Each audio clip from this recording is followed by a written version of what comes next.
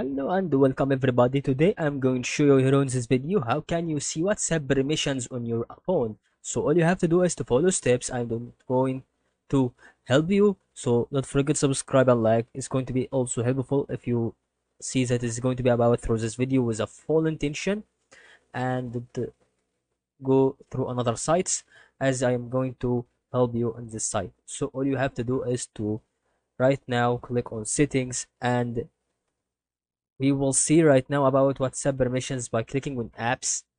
And next we will search about WhatsApp.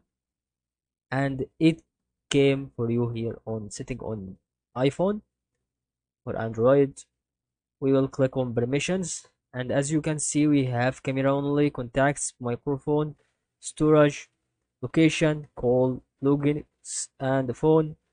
Also if you want to have sms so that's all. I hope this video could be helpful. Thank you for watching